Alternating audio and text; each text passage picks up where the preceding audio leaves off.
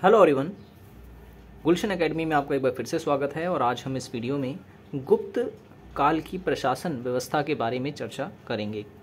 कल की वीडियो में मैंने आपको जो है गुप्त साम्राज्य को जो है समझाया था कौन कौन से शासक थे इसमें और उन्होंने क्या क्या। किया इस विषय में हम, पे हमने जो है कल चर्चा की थी। वो वीडियो अगर आपने नहीं देखा है तो आप देख सकते हैं लिंक डिस्क्रिप्शन में दे दी गई है। और हमारी पहले की सभी वीडियोस देखने के लिए जो है आप लिंक पे क्लिक करके हमारी सभी वीडियोस को देख पाएँगे।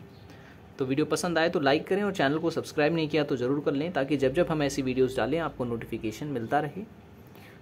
और ये हमारी जो वीडियो है, ये सभी एग्ज़ाम्स के लिए इंपॉर्टेंट है। स्पेशली अगर आप तैयारी कर रहे हैं सीटेट पेपर टू के लिए डी ट्रिपल एस बी के लिए के बी एस के लिए या किसी भी टीचिंग एग्ज़ाम्स के लिए तो आप हमारी वीडियोस को फॉलो कर सकते हैं। तो चलिए शुरू करते हैं। गुप्त काल की प्रशासन व्यवस्था। देखें गुप्त काल की प्रशासन व्यवस्था जो थी वो काफ़ी उत्तम प्रकार की थी, ठीक है? लेकिन गुप्त की शासन व्यवस्था पूर्णतः मौलिक नहीं थी, बल्कि इनकी प्रशासन व्यवस्था जो थी, वो मिक्स रूप थी, यानी कहें कि मिश्रित रूप थी मौर्यकालीन प्रशासन व्यवस्था का, सातवाहन प्रशासनिक व्यवस्था का, साको की प्रशासनिक व्यवस्था का, व कुषाणों की प्रशासनिक व्यवस्था का, ठीक है? तो ये जितने भी वंश हुए थे, इन सभी वंशों में जो प्रशासनिक व्यवस्था थी उन्हीं का मिश्रित रूप या कहें कि समावेशित रूप जो है वो गुप्त की प्रशासन व्यवस्था में हमें देखने को मिलता है। ठीक है?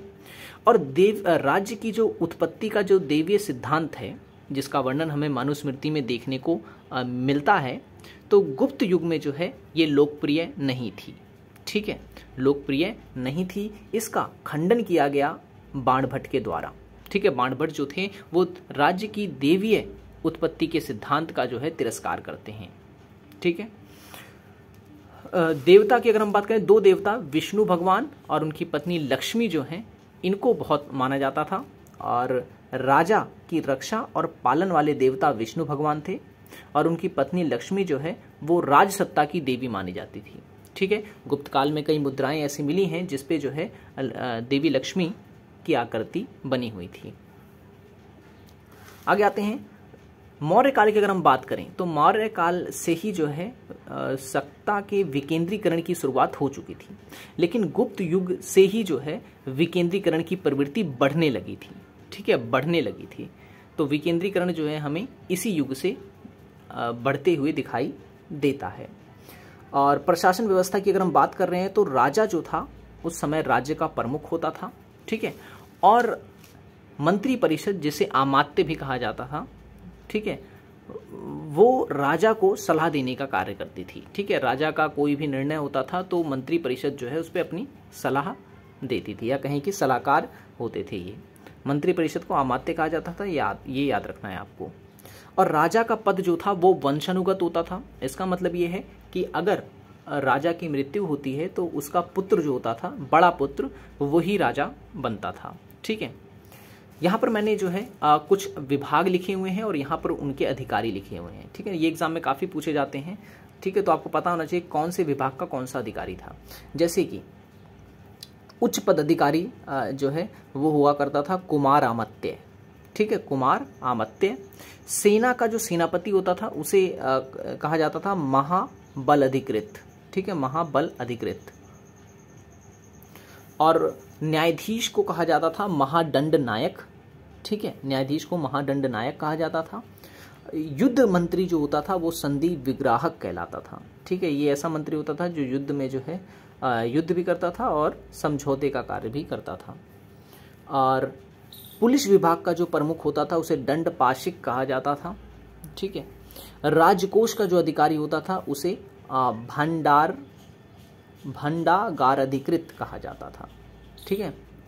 और लेखा विभाग का जो सर्वोच्च अधिकारी होता था, उसे महापक्ष पटलिक कहा जाता था। ठीक है? महापक्ष पटलिक कहा जाता था। और राजप्रसाद से संबंधित जो विषय होते थे, उनकी देखरेख करने वाले जो अधिकारी होते थे, उसको कहा जाता था महाप्रतिहार। ठीक है? और दान विभाग का जो अधिकारी होता था, उसे अग्रहारिक कहा जाता था। ठीक है? दान विभाग के अधिकारी को अग्रहारिक कहा जाता था। मौर्य काल की प्रशासनिक इकाई की अगर हम बात करें तो आप देख सकते हैं कि प्रशासन की सबसे छोटी जो इकाई थी, वो थी ग्राम, और जो सबसे बड़ी इकाई थी, वो थी देश। ठीक है? पहले ग्राम, फिर पेठ, जिसे तहसील भी कहते थे, फिर विषय, फिर भक्ति, फिर देश। तो ग्राम का जो प्रमुख होता था, उसे ग्रामपति कहा जाता था। पेठ का जो प्रमुख होता था उसे पेटपति, विषय का प्रमुख जो होता था उसे विषयपति, भक्ति के जो प्रमुख होता था उसे उदरिक और देश का जो प्रमुख होता था उसे गौरना कहा जाता था। ठीक है? और गोप्ता जो था, गोप्ता गोप्ता सीमांतिक प्रदेशों का शासक होता था। ठीक है? सीमांत प्रदेशों का जो है शासक होता था। और सबसे बड़ी इकाई जो होती थी वो देश थी। ठीक है? और जूनागढ़ अभिलेख। ठीक है? जूनागढ़ अभिलेख से हमें जो है सौराष्ट्र को एक देश कहा गया है, ये देखने को मिलता है। ठीक है? स्थानीय शासन दो भागों में बटा हुआ था, नगर प्रशासन और ग्राम प्रशासन। नगर प्रशासन का जो प्रमुख होता था, उसे नगरपति कहा जाता था। ग्राम प्रशासन का जो प्रमुख होता था, उसे महत्तर कहा जाता था। ठीक है? न्याय व्यवस्था की अगर हम बात करें तो न्याय व्यवस्था भी काफ़ी उत्तम प्रकार की थी गुप्त काल में। और जो सर्वोच्च न्यायाधीश होता था, वो जो है, राजा हुआ करता था, सम्राट हुआ करता था। इसका फैसला अटल होता था। और चार प्रकार के न्यायालयों का उल्लेख हमें मिलता है गुप्त काल में।